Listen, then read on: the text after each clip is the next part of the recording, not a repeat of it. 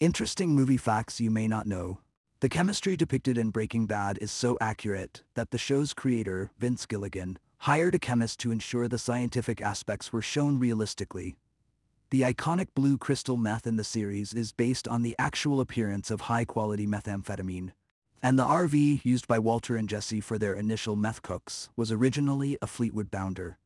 It became so iconic that Sony Pictures auctioned it off after the series ended.